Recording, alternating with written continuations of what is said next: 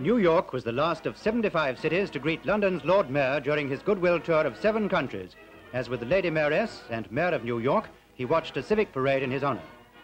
Then, with his host, Sir Denys made the traditional drive up Broadway, the first Lord Mayor of London ever to visit the city during his term of office.